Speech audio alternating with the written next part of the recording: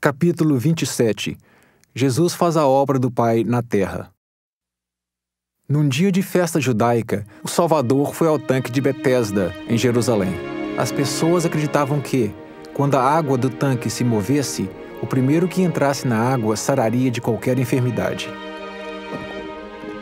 Jesus viu um homem perto do tanque que não andava havia 38 anos. Era sábado, o dia santificado daquela época. Jesus perguntou ao homem se ele queria ficar curado. O homem disse que nunca ficaria curado, porque jamais conseguiria entrar na água primeiro. Jesus disse ao homem: Levanta-te, toma o teu leito e anda. O homem ficou bom no mesmo instante.